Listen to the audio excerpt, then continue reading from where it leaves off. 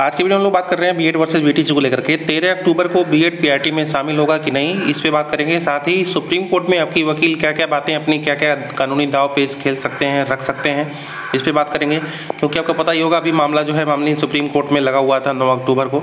और इसमें Bihar government AD चोटी एक की हुई थी, किसी तरह से बी एड में शामिल हो जाए। लेकिन एन वक्त पे बी एड से अंदर हो, बाहर हो, ये तो बात की बात है। वहाँ बिहार गवर्नमेंट ने अपना जो एसएलपी था, वापस ले लिया।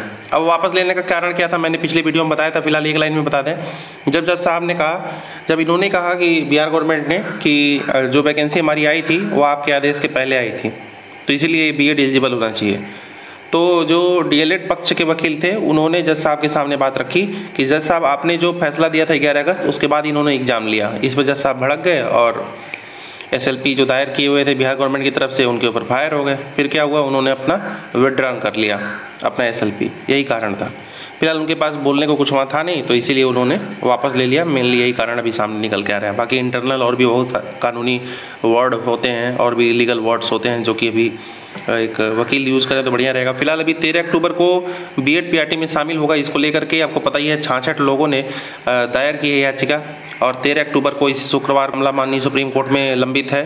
फ़िलहाल बिहार गवर्नमेंट भी उस याचिका में आकर के उनके जो वकील होंगे और पी के शाही, जो कि आपको पता होगा महाधिवक्ता बिहार सरकार है, वो भी जाकर के उसमें शामिल होने का प्रयास करेंगे और अपनी बात रखने का प्रयास करेंगे। फ़िलहाल एक प्रेस मैटर है ये और बिहार गवर्नमेंट ये चाहती है किसी भी तरह से बी एड में शामिल हो जाए। ठीक है, फ़िलहाल अभी ये जो मामला है कानूनी दाव पेज का, इसमें क्या क्या हो सकता है? तो वकील लोगों के पास बहुत सारे आइडिया हैं, जो कि जैसे सबसे पहली बात उन्होंने ये सोच रखी है कि अगर हम कहेंगे कि बी एड में शामिल हो, क्योंकि इसके पहले भी हमेशा बी एड में शामिल होता आया है। और दूसरी चीज़, माननीय सुप्रीम कोर्ट का फैसला आया था, वह रेट्रोस्पेक्टिव था कि नहीं। ये बात उनको पूछनी है। अगर रेट्रोस्पेक्टिव था तो इसका मतलब है तत्काल प्रभाव से उसको लागू किया जाए। अगर सारी वैकेंसी में लागू हो रहा है, इसमें भी कंडीशन है, वो पूछेंगे जज साहब से। अब जज साहब खुद फंसेंगे उसमें। फ़िलहाल अब की वाले में ज़्यादा कुछ बात नहीं हो पाया, इसी लोगों ने इसीलिए लोगों ने अपनी बात रख नहीं पाई। फ़िलहाल अब की ये प्लान है कि पहला चीज़ रखेंगे कि अभी जो वैकेंसी नेक्स्ट आई है माननीय सुप्रीम कोर्ट का फैसला आने के बाद, जो भी परीक्षाएँ हुई हैं या जो भी प्रक्रिया चल रही हैं, उस पर लागू होता है। बी एड पी में शामिल नहीं होगा। या इसके पहले जो वैकेंसी चल चुकी हैं, जो लोग अभी कार्यरत हैं, शिक्षक, उन पर भी लागू होगा। ऐसे में सुप्रीम कोर्ट फंस सकती है। सुप्रीम कोर्ट कभी नहीं कहेगी कि इसके पहले जो लोग पहले से ही कार्यरत हैं, शिक्षक हैं, उनको निकाल दिया जाए। ऐसा नहीं कर सकती। ठीक है, फ़िलहाल बड़ा मुश्किल है ये शब्द यूज़ करना कि सबको निकाल दिया जाए, क्योंकि उनका एक, बस एक शब्द यूज़ कर लें कि हाँ पिछली जो वैकेंसी है, उसमें भी लागू होगा। फिर जा करके तो बहुत ही बड़ा इस पर मैटर क्रिएट हो जाएगा। ठीक है, पूरे इंडिया में। तो फ़िलहाल उस पर तो हमें नहीं लगता बोलने वाले हैं। तो इसी को लेकर के अभ्यर्थी एक कमज़ोर पॉइंट जो बोल रहा था ना, कमज़ोर नस उसको पकड़े हुए हैं। अभी वकील देखिए क्या करते हैं, इसको पेश करते हैं कि नहीं। फ़िलहाल वो लोग सोशल मीडिया पर सारी बातें रख रहे हैं। तो जो पिछली वैकेंसी उस पर लागू होगा कि नहीं, और जो करंट वैकेंसी है उस पर लागू होगा कि नहीं? फ़िलहाल, और तीसरी बात, जो आने, आगे आने वाली वैकेंसी उस पर लागू होगा कि नहीं? तो काफ़ी लोग ये तो आसान है समझ जाएँगे कि आने वाली वैकेंसी में तो लागू नहीं होगा बी एड पी में लेकिन जो करंट वैकेंसी जो आ चुकी है और जो प्रक्रिया चल रही है, जैसा कि छत्तीसगढ़ हाईकोर्ट में हुआ, उसमें क्या हुआ? यही तो हुआ। ये मामला लोग लेके गए डी वाले की माननीय सुप्रीम कोर्ट का फैसला ग्यारह अगस्त को आया था, उसके बाद ज्वाइनिंग नहीं करा सकते।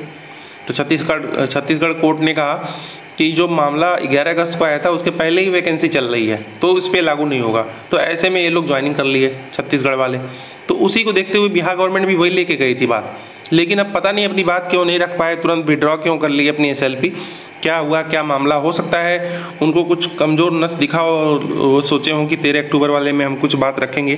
फ़िलहाल ये कोई बात नहीं होती है कि एसएलपी अपनी वापस ले लें और आप दब करके चले आए, अपनी बात तो रखनी चाहिए ही थी।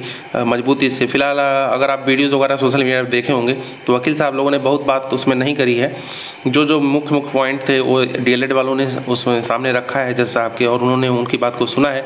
साहब जब ये कह दिए डी के वकील कि 11 अगस्त को जब आपका फैसला आ गया कि अभी बी एड में शामिल नहीं होगा तो बीपीएससी एग्ज़ाम क्यों कराई? इसी को लेकर के जज साहब थोड़े नाराज़ हो गए, ठीक है? तो फ़िलहाल उनको ये बात ज़रूर रखनी थी, चाहिए थी। छत्तीसगढ़ हाईकोर्ट का भी वो फैसला लेकर गए साथ में। वो सब पेश करने का मौका ही नहीं मिला, क्योंकि समय भी थोड़ा कमी था उस उस बीच। तो अभी तेरह अक्टूबर को एक बड़ा याचिका है, ठीक है? बड़ी याचिका में थोड़ा समय भी थोड़ा दे दिया जाता है, क्योंकि काफ़ी लोगों को अपनी बात जो है थोड़ी थोड़ी रखनी होती है। तो अभी जो वकील की संख्या है, वह हो सकता है पाँच से छः रहे आपकी और उसमें महाधिवक्ता पी के शाही भी शामिल हैं, और ऐसे में हो सकता है बी एड पी में शामिल होने का कोई बात सामने निकल कर आ सकता है, क्योंकि इतनी जल्दी जल्दी डेट पढ़ना इतना आसान नहीं है। क्योंकि अभ्यर्थी जो थे, अब तुरंत माननीय सुप्रीम कोर्ट में गए, उन्होंने अपना एच का दायर किया उन्हें डेट भी मिल गया तेरह अक्टूबर का। ठीक है, जल्दी जल्दी डेट मिलता नहीं है, और डेट काफ़ी आगे भी बढ़ा दिया जाता है। तो कल क्या हुआ? जैसे ही माननीय सुप्रीम कोर्ट में बिहार गवर्नमेंट अपना एसएलपी वापस ली, तुरंत ही बिहार गवर्नमेंट का जो एसएलपी था वापस होने से सुप्रीम कोर्ट ने उस मैटर को ही डिस्पोज कर दिया। अब ये समझ लीजिए, इतना जल्दी मैटर भी डिस्पोज नहीं होता है। मैटर डेट आगे बढ़ जाती है। सुनते हैं, बस क्या करते हैं, दो महीने का, तीन महीने का डेट लगा देते हैं। अब बड़ी कमी सुने होंगे कि इस तरह का फैसला कहीं आए गए, एक ही में निपट गए। फ़िलहाल बिहार गवर्नमेंट चाह रही थी कि एक ही सुनवाई निपट जाए। लेकिन उनको लग रहा था कि यहाँ जो है बीएड के विपक्ष में कुछ न कुछ फैसला आ जाएगा, अगर हम अपनी एस वापस नहीं लेंगे। तो बिहार गवर्नमेंट एक तरह से लास्ट में अच्छा ही की, लेकिन अब तेरह अक्टूबर को देखना शेष होगा बी एड में कानूनी दाव पेश कौन कौन सा खेलता है, फ़िलहाल एक, दो, तीन मैंने तो आपको बताया ही। इसके बाद भी बी के पास बहुत सारे रास्ते हैं, वो तो मैंने अपने काफ़ी वीडियोज़ में चर्चा किया ही है। फ़िलहाल आपकी क्या राय है बी एड को लेकर के क्या होगा? सुप्रीम कोर्ट में तेरह अक्टूबर को कमेंट बॉक्स में लिखिएगा। फ़िलहाल अभी इतना ही, धन्यवाद।